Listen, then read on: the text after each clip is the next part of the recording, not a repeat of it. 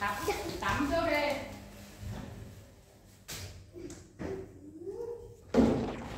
Tắm trước đi mẹ rửa tao buổi tối xong mẹ tắm cho mày gấu đây